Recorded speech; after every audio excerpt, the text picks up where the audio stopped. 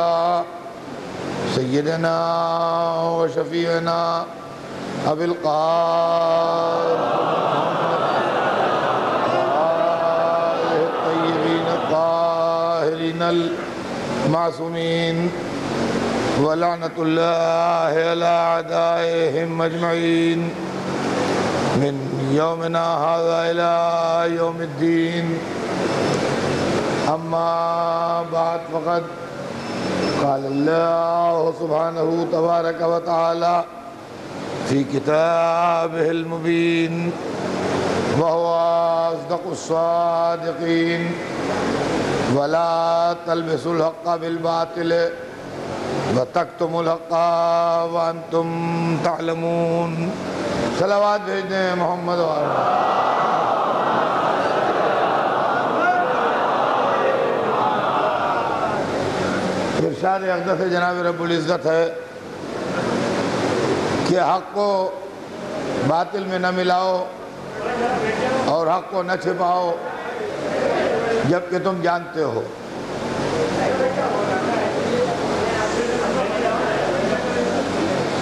ने गिरामी, सिलसिला कलाम जहन आली में होगा। हमारे आपके दरमियान जो गुफ्तु चल रही है, वो है मज़हब और सियासत। और बात का खुलासा जो है, वो ये है कि सियासत ने मज़हब को बदनाम किया है, वरना मज़हब कोई बुरी चीज़ नहीं है। इस्लाम में अच्छाइयाँ ही अच्छाइयाँ हैं, मगर सियासी लोगों ने अपनी हरकतों का नाम इस्लाम रख के इस्लाम को बदनाम किया है। मज़हब के दामन पर एक भी धब्बा नहीं है। मज़हब का दामन हर धब्बे से पाक और साफ़ है। सियासत के धब्बे हैं जिसको दुनिया मज़हब का धब्बा समझ रही है। लिहाजा ज़रूरत इस बात की है कि ये बात लोगों के दिमाग में वाजह की जाए कि मज़हब और है और सियासत और है। और वो चीज़ जिसको सियासत वाले मज़हब कहते हैं वो उनके ज़ाती फ़ायदे हैं ज़ाती पर्सनल इंटरेस्ट हैं वो मज़हब नहीं है। ताकि ये दो बातें अलग हो जाएँ हमारा कैरेक्टर अलग है और मज़हब अलग है। चुनाचे मैंने इसके सिलसिले में आपकी खिदमत में कल आखिर में यही बताया था कि वो मजहबी रहनुमा जो बादशाहों और मज़हब के बीच में कंप्रोमाइज़ करते हैं, वो उनका काम ही यही है कि वो मज़हब को बिगाड़ें और ट्विस्ट करें और उस तरह पेश करें कि जिससे बादशाहतें और हुकूमतें खुश हो जाएँ। अब वक्त भी मेरे पास बहुत मुख्तसर रह गया और कुल तीन रातें रह गईं, जिसके अंदर बयान को अपने अंजाम तक भी पहुँचना है और बात का खुलासा भी होना है। लेकिन फिर एक मरतबा मैं अपील करूँगा अपने सुनने वालों से कि अपने दिल को मज़बूत करके ये तय कर लीजिए कि आपको मज़हब को सपोर्ट करना है कि शख्सियतों को सपोर्ट करना है।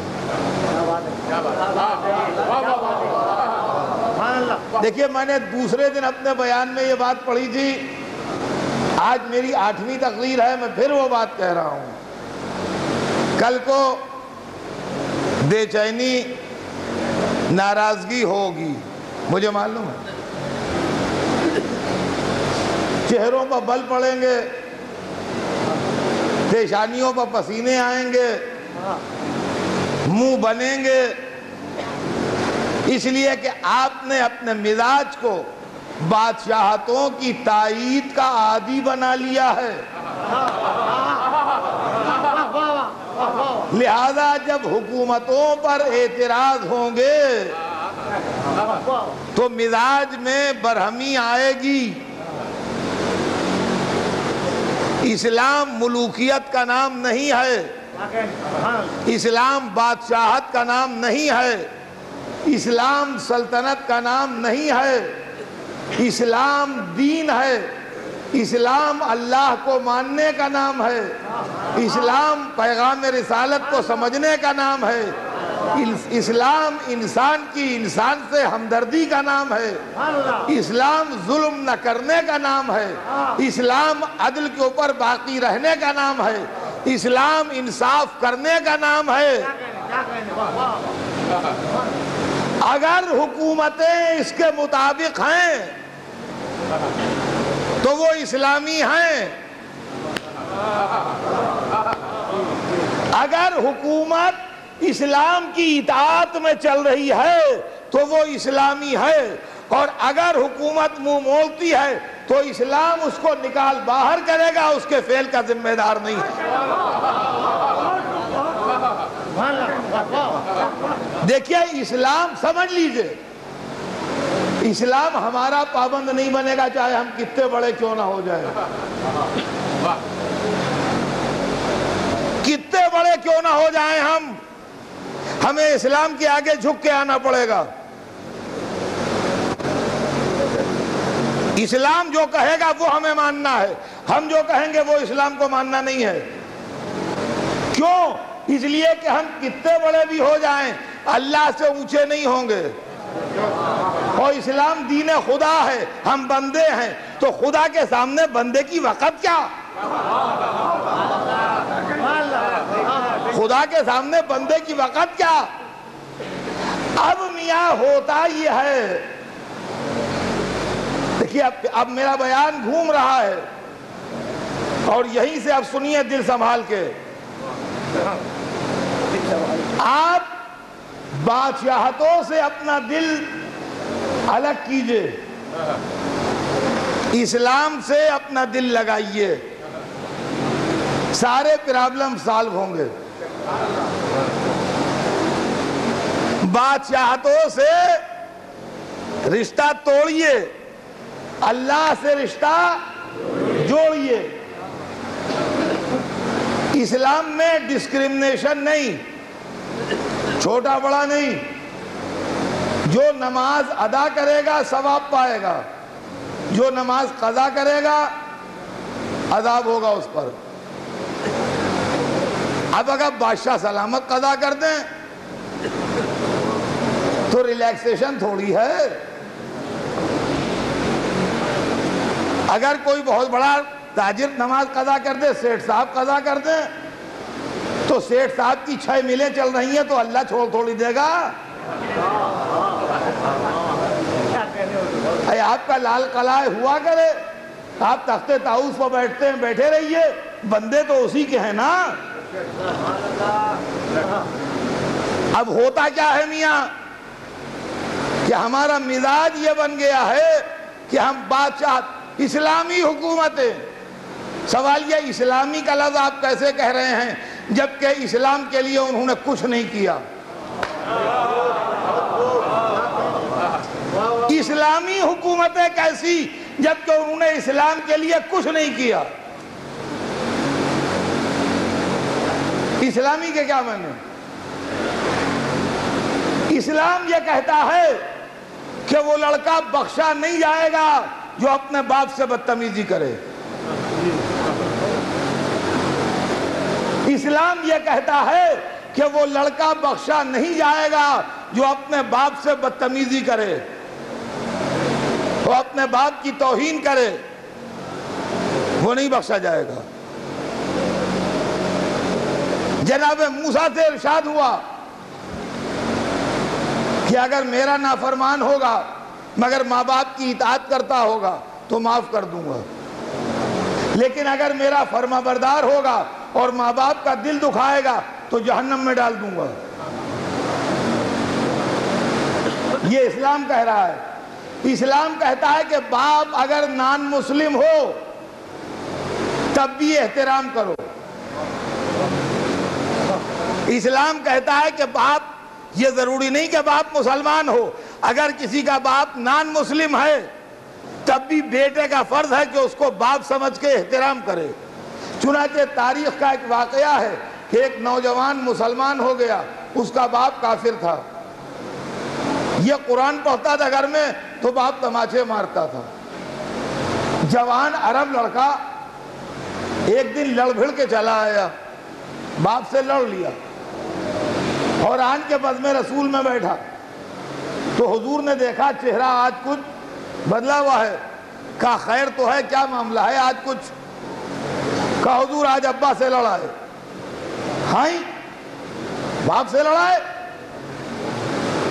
कहा, जी हाँ। कहा, बुरी बात, बाप से नहीं लौटते कहा, हुजूर, वो काफिर है। अब इसने अपने ख्याल में बड़ा जोरदार जुमला कहा कि अब तो शाफी मिलेगी, फिर काफिर से लड़ाए कहा हुजूर वो काफिर है। कहा, तुम्हारा तो बाप है। तुम्हारा तो बाप है। सिवाय खुदा के मामलात में जो वो मना करे, उसकी ना मानो। वरना ज़िंदगी के हर मामले में उसी तरह मानो, जैसे माना जाता है। और बाप से लड़ना कैसा? बुरी बात। वापस जाओ। ये लड़का सच्चा मुसलमान था। वापस चला गया। बाप समझा, लड़का था, गुस्से में निकल गया। आ गया फिर। जब कुरान पढ़ने का टाइम आया, इसने कुरान शुरू किया। वो तमाचे मारने लगा फिर। अब आज तमाचे खा रहा है, बोलता नहीं।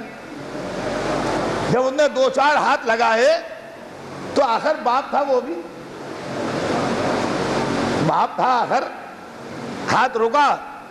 कहने लगा, आज कुछ बोल नहीं रहे हो? कहने लगे, अब कभी ना बोलूँगा। कहा, क्यों? कहा, मेरे रसूल ने मना किया है। कहा, कहे के लिए मना किया है? कहा, तुमसे लड़ने के लिए मना किया है। मेरे रसूल ने कहा, है कि बाप का एहतराम करो। कहा कि, मेरा एहतराम तुम्हारे रसूल ने कहा है? कहा हाँ। कहा, भाई, समझ में नहीं आती बात। मैं तो उसके ख्याल में काफिर हूँ और वो मेरे एहतराम का क्यों हुक्म देगा? तो उसने कहा, मेरे रसूल ने कहा है कि बाप काफिर सही, मगर उसका एहतराम ज़रूरी है। सोच में बैठ गया बूढ़ा। थोड़ी देर के बाद कहने लगा, कितने, कब जाते हो तुम अपने रसूल के पास? उन्हें टाइम बताया, कहा, मुझे भी लेते चलना आपकी। जब जाने लगा तो कहने लगा, मैं जा रहा हूँ, चलोगे? कहने लगा, चलो। आया, रसूल से मिलाया उसने, मेरे वालिद हैं। रसूल ने अखलाक से मोहब्बत से जैसे किसी आदमी को वेलकम किया जाता है। आओ बैठो खैरियत मिजाज कुर्सी जो दस्तूर के मुताबिक होता है। थोड़ा पूछा वो देख रहा है। थोड़ी देर देखता रहा लहजे की मिठास में खोया रहा। अखलाक की लज्जत में हंस लेता रहा। लगा हुजूर, कलमा पढ़वा दीजिए। कहा, क्यों भाई, क्या बात हुई? कहा, ऐसे तो बहुत देखे जो अपने दोस्तों के एहतराम का हुक्म दे। ऐसा आपको देखा जो अपने दुश्मन के एहतराम का हुक्म दे। देखिए, गौर कीजिएगा। इस्लाम यह कहता है कि बाप का एहतराम करो। और सुनिए, इस्लाम यह कहता है कि भाइयों के साथ अच्छा सलूक करो। अपने भाई के लिए सैक्रिफाइस करो। अपने भाइयों के लिए कुर्बानी दो। अपनी तकलीफ़ उठा के भाई को आराम पहुंचाओ। इस्लाम यह कहता है कि बिला सबब जो किसी मोमिन को मार डाले जानबूझ के, वो हमेशा जहन्नम में रहेगा। ये सब इस्लाम कह रहा है। कातिल को इस्लाम जहन्नमी कहता है। बाप का एहतराम न करने वाले को इस्लाम जहन्नमी कहता है? लेकिन एक बादशाह अपने बाप को कैद करके और अपने भाइयों को कत्ल करके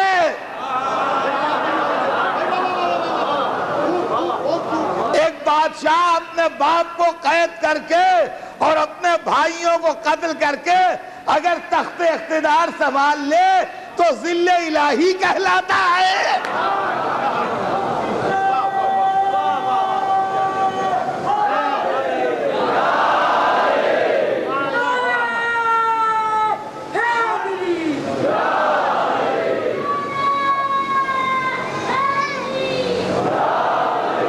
नारे हैदरी बाबा देवराव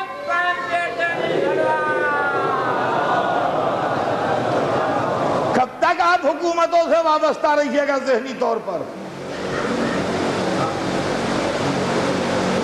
कब तक हुकूमतों से वाबस्ता रहिएगा जहनी तौर पर? आप बादशाहों के किरदार तारीख में पढ़िए, उनके जुल्म देखिए, उनकी नाइंसाफियाँ देखिए। इससे बहत नहीं वो मुसलमान है या उनका क्या मज़हब है? बादशाहों की तारीखी अलग है, हुकूमतों के कैरेक्टर ही अलग हैं। उनको मज़हब से कोई ताल्लुक नहीं होता, उनको अपना इख्तिदार प्यारा होता है। अजीजान गिरामी, हुकूमत का ताल्लुक इस्लाम से नहीं है। दौलत और सल्तनत का ताल्लुक इस्लाम से नहीं है। इख्तिदार के लिए जान देना और है, मज़हब के लिए जान देना और है। आज इसी इख्तिदार की हवस में और इसी सियासत ने मुसलमानों को इस मंजिल पर पहुँचा दिया है कि देख के शुभा होता है, ये मुसलमान है तो टेररिस्ट होगा। ये मुसलमान है तो दहशतगर्द होगा। ये मुसलमान है तो ज़रूर हमारे कत्ल के लिए खंजर छिपाए होगा। ये किसने पहुँचाया यहाँ तक?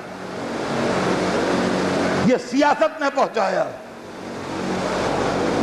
ये इख्तिदार की हवस ने पहुँचाया। ये दौलत दुनिया की तमन्ना ने पहुँचाया।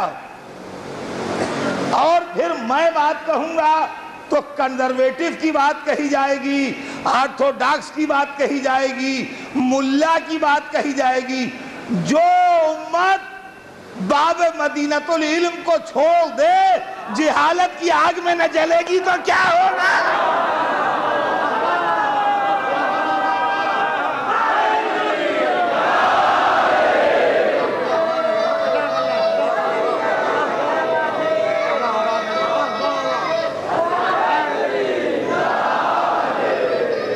के साथ नहीं बोला अली बोला अली बोला तू पहला तू ही चौथा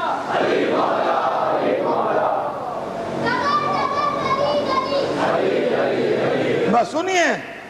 आप मेरी तरफ़ मुतवजह रहिए। मुझे बहुत कम वक्त में बहुत कुछ पहुंचाना है आप तक। आज मुसलमानों के ऊपर सारी दुनिया में शक की निगाहें पड़ रही हैं। आज मुसलमानों को दहशतगर्द कहा जा रहा है। आज मुसलमानों के ऊपर इल्ज़ाम रख रहे हैं। इसका कोई ताल्लुक भी इन सारे मामलात का इस्लाम से नहीं है। हम आपको दहशतगर्द की पहचान बताते हैं। हम सीना ठोक के और चैलेंज करके कहते हैं, जहाँ जहाँ मेरी आवाज़ जा रही है, सुने। कि अगर मुसलमान है तो दहशतगर्द हो ही नहीं सकता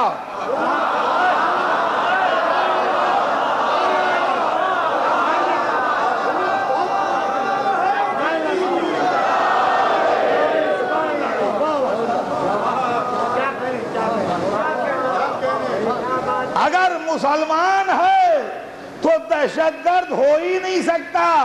और अगर दहशतगर्द है तो मुसलमान हो ही नहीं सकता।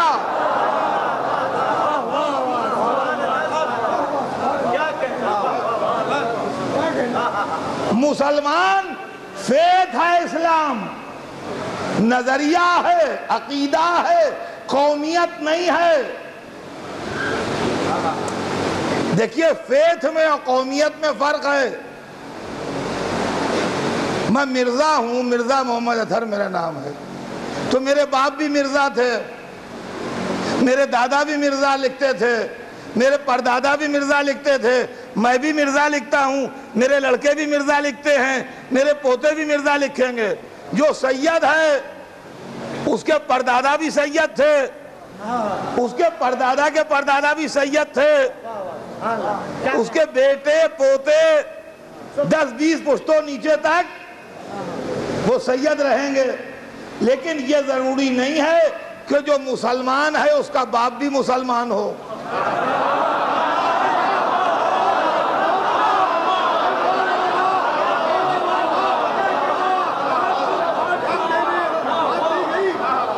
और ये भी ज़रूरी नहीं है कि जो मुसलमान है, उसका बेटा भी मुसलमान हो। कोई ज़रूरी नहीं, आदमी अपना नज़रिया चेंज कर सकता है, अकीदा बदल सकता है। तो मुसलमान होना, ये अकीदे और फेत की बात है, मज़हब की बात है। मज़हब तब्दील हो जाता है। जात पात आदमी की तब्दील नहीं होती। तो जो सैयद है, सैयद तो रहेगा। जो मिर्ज़ा है मिर्ज़ा रहेगा, शेख है, शेख रहेगा, खान है, खान रहेगा। उसके बाप दादा भी वही थे, वो भी वही है, उसकी औलाद वही रहेगी। लेकिन मज़हब ऐसी चीज़ नहीं है। मज़हब बदल सकता है। अच्छा मज़हब आदमी नज़रिए से भी बदल देता है, हरकतों से भी मज़हब से खारिज हो जाता है। हैं? हरकतों से भी मज़हब से खारिज हो जाता है। तो मुसलमान कोई खानदानी चीज़ नहीं है कि मेरे बाप मुसलमान थे, लिहाजा मैं मुसलमान हूँ। हो सकता है मेरे बाप मुसलमान हो, मगर मुझमें अगर मुसलमानों वाली हरकतें नहीं हैं तो मैं मुसलमान नहीं हूँ। ये अकीदा है। ये जात पात कौमियत नहीं है। तो अगर मुसलमान है तो दहशतगर्द नहीं होगा। और अगर दहशतगर्द है तो मुसलमान नहीं होगा। दहशतगर्दी, आतंकवाद और टेररिज्म के हम एक्सपर्ट हैं। इसलिए कि हम 1400 बरस से झेल रहे हैं।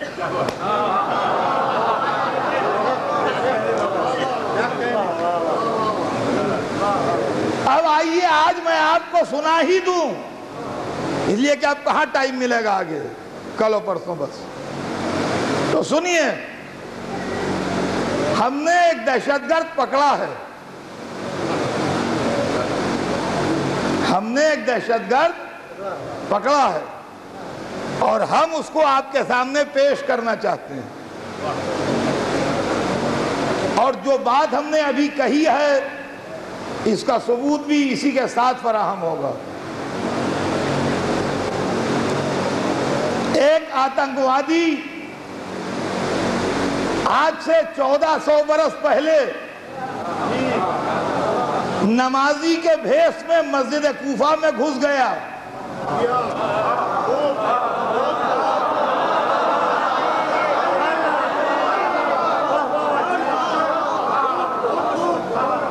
एक आतंकवादी नमाजी के भेष में आज से 1400 वर्ष पहले 19वीं रमज़ान की रात को अंधेरे से फ़ायदा उठा के मस्जिद कूफा में घुस गया। और उसने रसूल के दामाद और खलीफा और भाई और इमाम को, जिनका नाम नामी मौला अली है,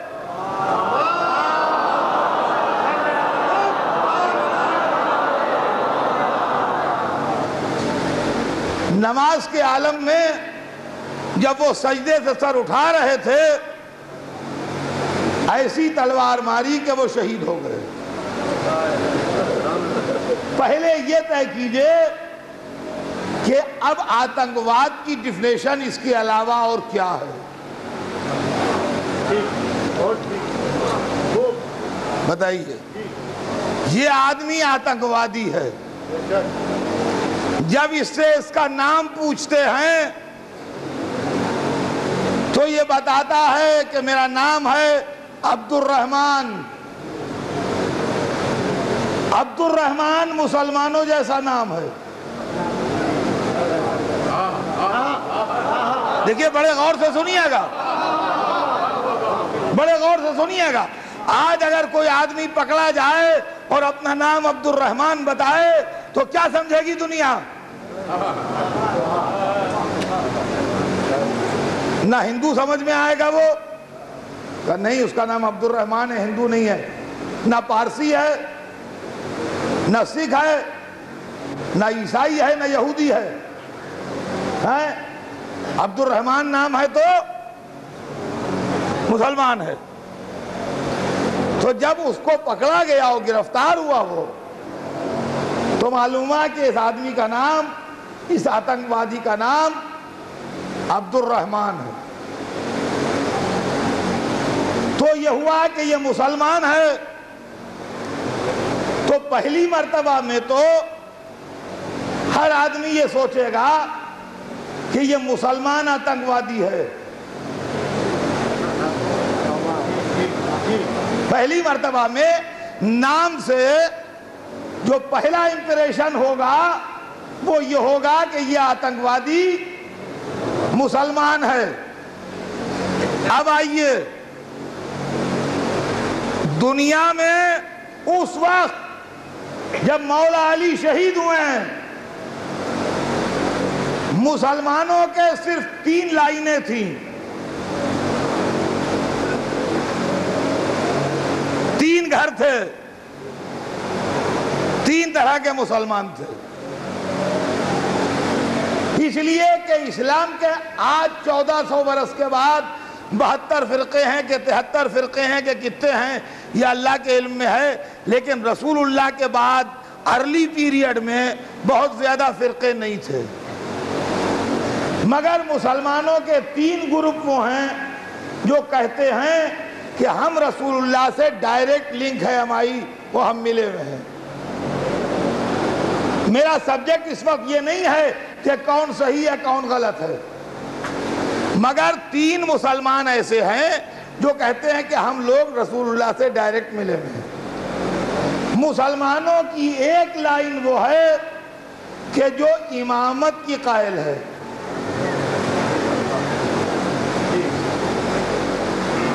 और वो कहते हैं कि हम रसूल से डायरेक्ट मिले हुए हैं। एक लाइन वो है, जो खिलाफत की कायल है। और वो कहते हैं कि हम रसूलुल्लाह से बिल्कुल मिले हुए हैं। और एक लाइन है जो तसव्वुफ को बिलीव करती है, सूफीज्म। और वो भी कहते हैं कि हम रसूलुल्लाह से मिले हुए हैं। बाद में जब ये तीन लाइनें आगे बढ़ी तो इन्हीं में से और लाइनें निकली। लेकिन मेन ब्रांचेस जो हैं, वो यही तीन हैं। यानी कुछ मुसलमान वो हैं जो रसूलुल्लाह के बाद सिलसिला इमामत के कायल हैं और वही मुसलमान शिया कहलाए। आज जो शिया कहलाते हैं, वो वो मुसलमान हैं जो इमामत के कायल हैं। कुछ मुसलमान वो हैं जो बाद रसूल खिलाफत के कायल हुए। और वही मुसलमान आज अहले सुन्नत कहलाते हैं, जो खिलाफत के कायल हैं। कुछ मुसलमान ऐसे हैं, जो कहते हैं, हम इस झगड़े में नहीं पड़ते शिया सुन्नी के। हम अहले मोहब्बत हैं, अहले बातिन हैं। वो सूफी कहलाते हैं। और उनके तरीके को तरीकत कहते हैं। देखिए गौर कीजिएगा ये तीन ब्रांचेस हैं मेन इन्हीं से निकल के और ब्रांचेस बनी हैं। हज़रत अली वो नाम है कि जो इन तीनों ब्रांचेस में एहतराम से लिया जाता है।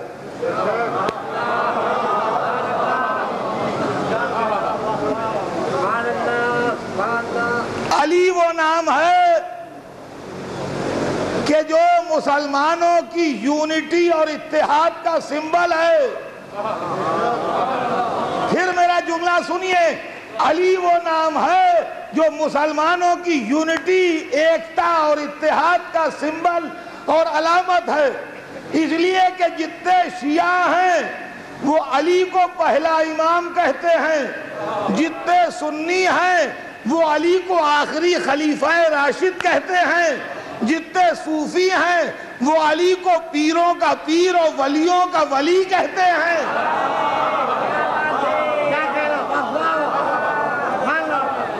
तो शियों के लिए अली इसलिए काबिल एहतराम के इमाम हैं। सुन्नियों के लिए अली इसलिए काबिल एहतराम के खलीफा राशिद हैं। सूफियों के लिए अली इसलिए काबिल एहतराम के पीरों के पीर और वलियों के वली हैं। तो अब अली को कत्ल करने वाला न शिया हो सकता है, न सुन्नी हो सकता है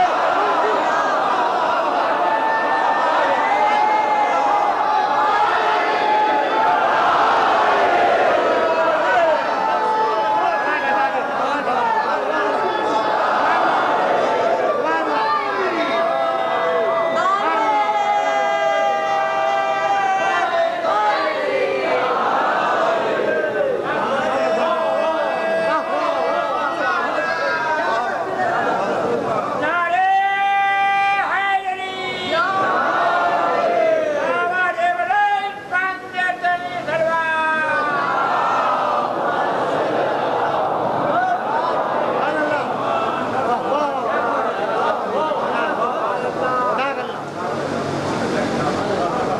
अब गौर कीजिए इस मसले को। जरा सा एनालिसिस कीजिए इस मामले की। शिया जान दे देगा, मगर अपने इमाम के खिलाफ नहीं सुनेगा। सुन्नी सर कटा देगा, मगर अपने खलीफा के खिलाफ नहीं सुनेगा। सूफी मर जाना बेहतर समझेगा, मगर अपने पीरों के पीर और वलियों के वली के खिलाफ नहीं सुनेगा। तो इब्ने मुलजिम नामे जो शख्स था, न शिया था न सुन्नी था ना सूफी था। अब इसका घर ढूंढिए है कौन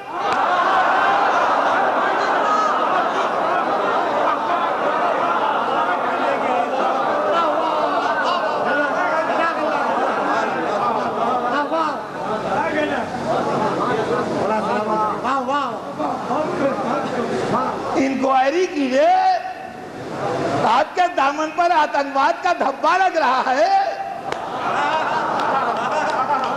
कोशिश कीजिए, क्या मामला है? शिया अली को इमाम भी मानेगा और कत्ल भी करेगा, अक्ल में आता है। सुन्नी अली को खलीफा भी मानेगा और कत्ल भी करेगा, दिमाग में आता है। सूफी अली को पीरों का पीर और वलियों का वली भी कहेगा और कत्ल करेगा, दिमाग में आता है। तो सूफियों से कत्ल अली से कोई मतलब नहीं। सुन्नियों से कत्ल अली से कोई मतलब नहीं। शियों से कत्ल अली से कोई मतलब नहीं। मुसलमान या सुन्नी है, या शिया है, या सूफी है, इसके अलावा है नहीं। तो इब्ने मुलजिम नाम रखने से मुसलमान नहीं होता। अब देखो कौन है।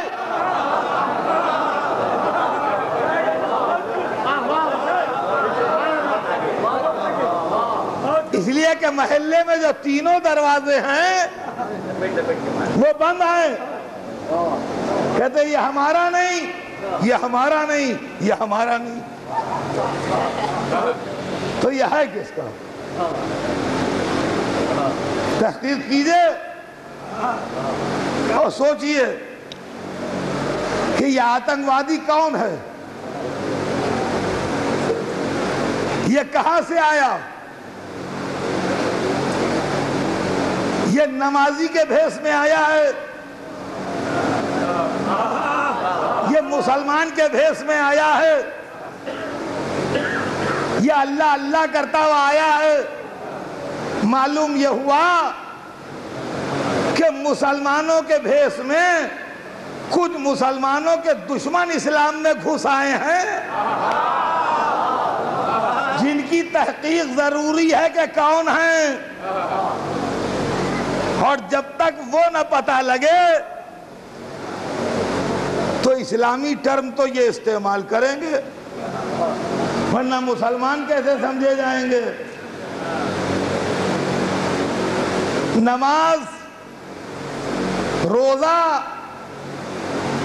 मस्जिद में हमने नमाजी देखा, आतंकवादी, और हुसैन ने हमको बताया था हज में कि कुछ आतंकवादी मेरे लिए खंजर लेके आ गए हैं हाजियों के वेश में, जो हुसैन ने मक्का छोड़ा। और उसके बाद फिर उन आतंकवादियों को करबला में लाके एक्सपोज किया। करबला में लाके एक्सपोज किया। आप मुझे बताइए, पूरी दुनिया से बिला तफरीक मज़हब मिल्लत सवाल कीजिए कि एक छह महीने का बच्चा तीन दिन से प्यासा है।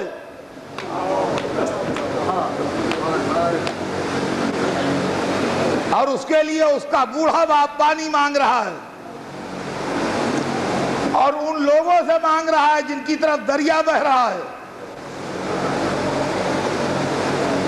और वो उस बच्चे को तीर मार देते हैं। क्या ये आतंकवाद नहीं है? क्या ये दहशतगर्दी नहीं है। ये तीर अली असगर के गले पर नहीं, इंसानियत के गले पर पड़ा है। अब अब ये मसला समझ लीजिए। देखिए, मैंने कहा था कि दिल आपको सख्त करना पड़ेगा, जब ही बातें वाजे होंगी। या तो उस पूरे निज़ाम को, जिसने यजीद को बिठाया था और हुरमुला को ताकत दी थी। इस्लाम से निकाल बाहर कीजिए, वरना ये इल्ज़ाम सुनने के लिए तैयार होइए कि मुसलमान।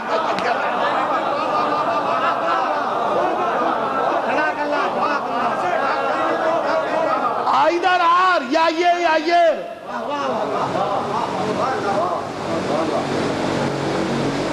ये नहीं कि ये भी हमारे, वो भी हमारे। अब एक ही हमारा रहेगा, दो नहीं रहेंगे।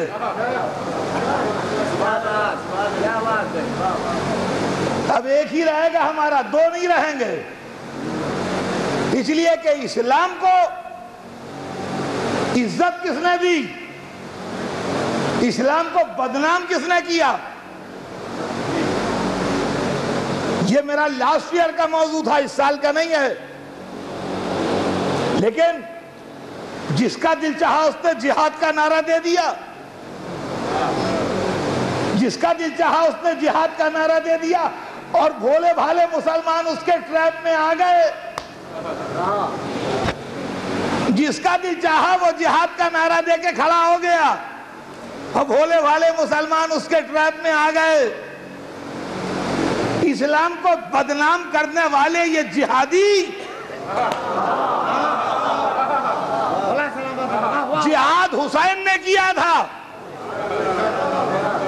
गिन के बहत्तर लाए थे तो तारीख को एक एक का हिसाब दिया। एक एक का हिसाब दिया, नाम लिखे सबीलों पर लगे हैं आज भी। एक एक फर्द को गिनवा दिया। एक एक मैयत उठा के तारीख को एक एक का हिसाब दिया। जो बहत्तर लाए थे पूरा पूरा टोटल हिसाब है। जिहाद ये होता है कि जिसको खुदा की राह में लाओ, उसका हिसाब दो। जिहाद ये नहीं है क्या ऐसे भागो के पता ही न लगे क्या हुआ।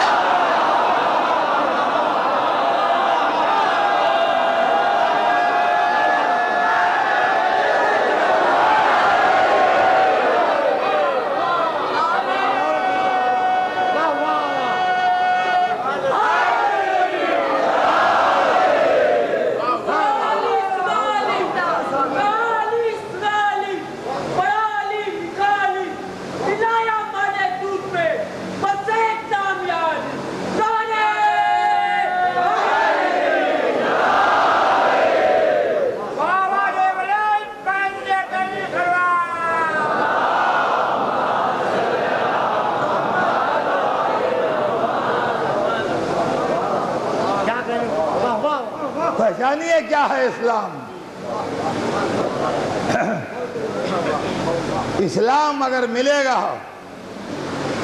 तो रसूल वाले रसूल के दरवाजे पर मिलेगा। वरना मुल्कियत और सल्तनत और इकतदार का इस्लाम हमेशा आपको इसी तरह से मिलेगा। जिहाद करबला में हुआ, मज़हब और सियासत का फ़र्क करबला में दिखाया गया। जहाँ अल्लाह के नाम पर भरोसा करने वाले और अल्लाह की ताकत पर यकीन रखने वाले और अल्लाह के वादों को सच्चा मानने वाले अपनी ज़िंदगी के हदिये लिए बारगाह परवरदिगार में खड़े थे कि महबूद इन्हें कबूल कर ले। इसलिए कि मज़हब इस बात का यकीन दिलाता है कि वो ज़िंदगी जो राह खुदा में काम आए, वो हमेशा की हयात बन के लौट आती है। इसीलिए बाप चाहता था बेटा उसके सामने शहीद हो जाए। और अजीजा ने गिरामी, हमारी जान निसार हों, उस अलमदार लश्कर हक पर जिसने सुबह क़यामत तक अहले हक के सर को बुलंद कर दिया। आज आठवीं रात है। और आज आप हज़रत अब्बास के मसाइब सुनते हैं।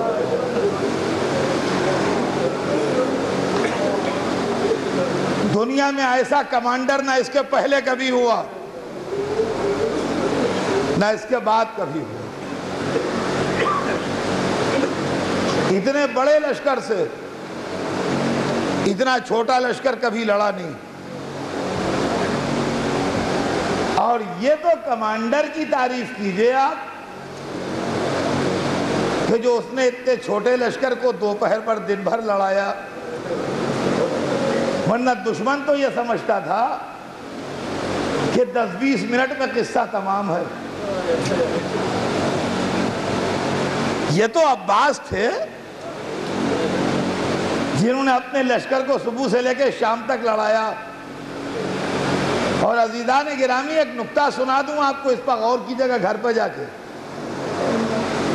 कि सुबह से लेके असर तक लड़ाई छोटे लश्कर के कंट्रोल में रही है, बड़े लश्कर के कंट्रोल में नहीं रही। यानी लड़ाई का अप एंड डाउन हुसैनियों के कब्जे में रहा, यजीदियों के कब्जे में नहीं रहा। आप कहेंगे, इसकी दलील क्या है? मैं दलील मजहबी नहीं दूँगा कि अकीदे की बुनियाद पर नहीं। मैं आपको हिस्ट्री की बुनियाद पर हिस्ट्री के पेजेस से दलील दूँगा। इस वक्त तो मस्जिद में, माशाल्लाह, बहुत बड़ा मजमा है। मैं आपसे ये पूछता हूँ, एक जगह सिर्फ़ बहत्तर आदमी हों, और उसमें बच्चे भी हों, बूढ़े भी हों, और यजीद की फौज की, जिन यजीदी मर्रखीन ने बहुत कम करके तादाद लिखी है, जो राइटर्स बहुत प्रो यजीद हैं और यजीद के जुल्म को हल्का करके लिखना चाहते हैं, उन्होंने लश्कर यजीद की तादाद थर्टी थाउज़ेंड लिखी है, तीस हज़ार। हालाँकि गलत है, उसका लश्कर तीस हज़ार से कहीं ज़्यादा था। मगर बहुत ही प्रो यजीद राइटर्स जो हैं, उन्होंने थर्टी थाउज़ेंड, तीस हज़ार लश्कर यजीद की तादाद लिखी। हम वही माने लेते हैं। अब हम आपसे पूछते हैं कि एक जगह किसी हाल में बहत्तर आदमी, पचहत्तर आदमी बैठे हैं और उस पर थर्टी थाउज़ेंड की आर्मी। आदमी नहीं। देखिए, आदमी नहीं। आदमी और आर्मी में फ़र्क है। हम आप आदमी हैं, आर्मी में नहीं हैं। हम ट्रेन नहीं है। थर्टी थाउज़ेंड की आर्मी हमला कर दे तो कितनी देर लड़ेंगे? और देर के अलावा, मान लीजिए उसमें कुछ मेजबान हो, कुछ मेहमान हो, क्या यह किसी के बस में होगा उस वक्त? कि मेजबान पहले मारे जाए, मेहमान बाद में मारे जाए? उसमें कुछ सादात हों, आले रसूल हों, कुछ उम्मती हों।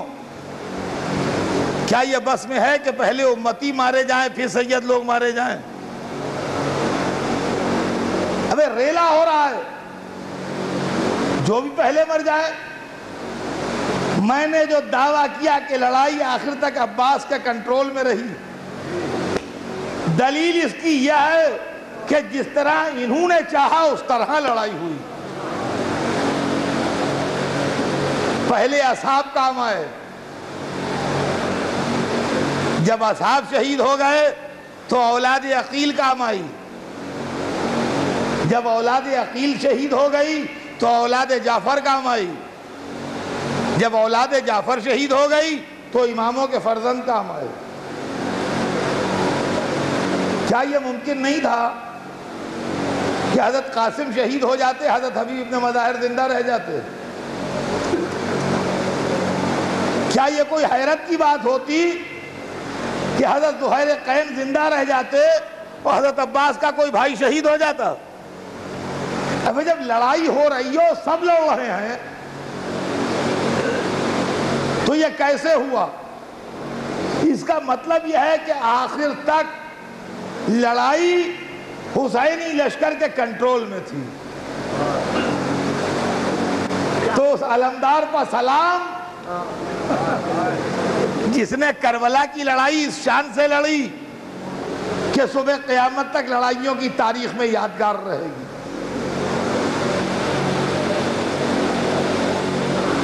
आज तक अब्बास का परचम बुलंद है। यह परचम हक है, जो सुबह क़यामत तक लहराता रहेगा।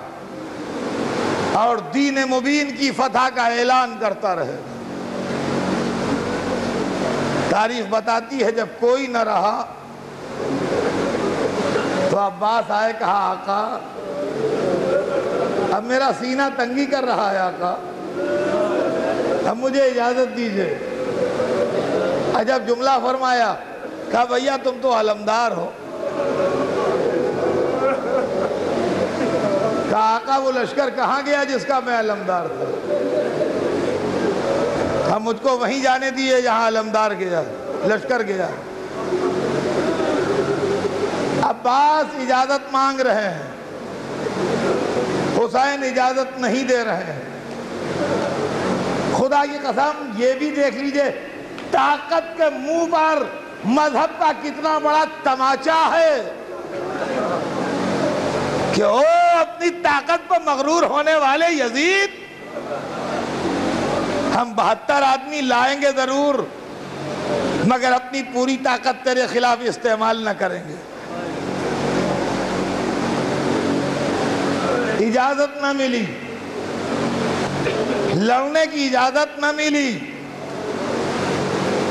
मुश्किल कुशा के बेटे की मुश्किल मुश्किल कुशा की पोती ने हल की। रवायत में है कि अब्बास इजाज़त मांग रहे हैं, हुसैन इजाज़त नहीं दे रहे हैं इतने में सकीना छोटे छोटे बच्चों को लिए हुए, हाथों में सूखे सागर, अलताश।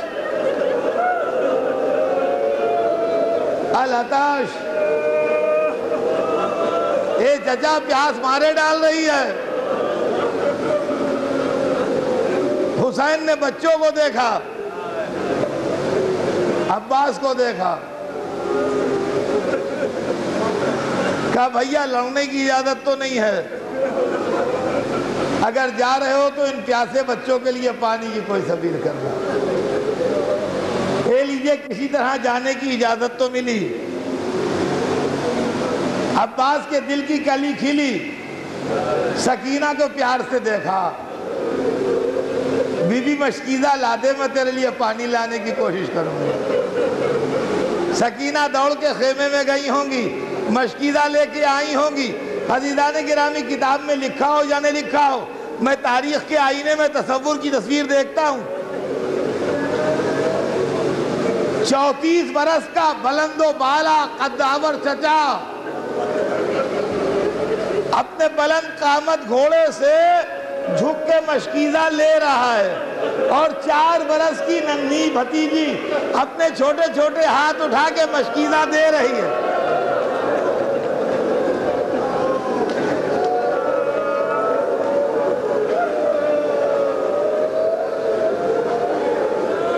आप तस्वुर की आँखों से देखिए, तस्वीर दिखाई देगी। चार बरस की बच्ची मशकीदा उठा के दे रही है। चौतीस बरस का चचा घोड़े से झुक के बच्ची के हाथ से मशकीदा ले रहा है। बस ये अब्बास और सकीना की आखिरी मुलाकात थी। इसके बाद न अब्बास ने सकीना को देखा, न सकीना ने अब्बास को देखा। अब्बास दरिया से न आए, सकीना शाम से न आई हाँ आवाज़ें बुलंद हैं।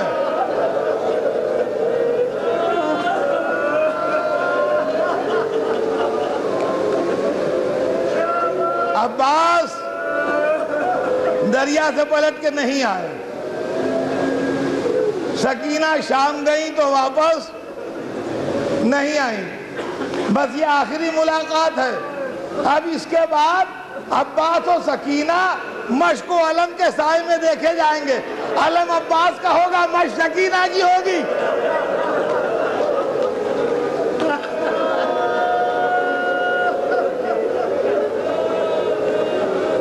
अजीजों, आज तक जो अब्बास का आलम है, उसमें मशक सकीना बनी है। अब्बास के आलम की पहचान ही है तो उसमें मशक सकीना होगी। वो हाथ तो कट गए ना, जिन्होंने मश बांधी थी।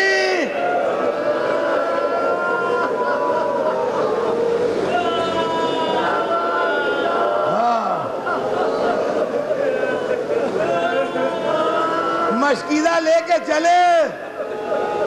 बच्चों ने खुदा हाफिज कहा होगा, दरिया तक गए, फौज को भगा के दरिया में उतरे, पानी से होठ तर न किए, मशक सकीना भरी, लेके पलटे, ए खुदा। अरे मशकीदा सकीना तक पहुँच जाए।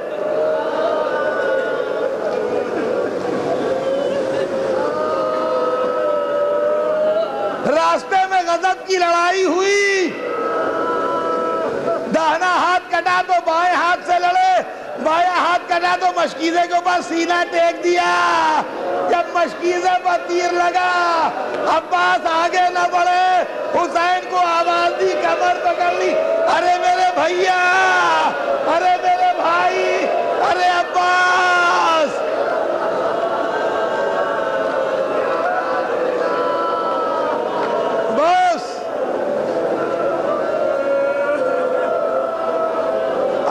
मजलिस तमाम है एक जुमला सुन लीजिए। हुसैन पहुँचे तो अब्बास ज़िंदा थे।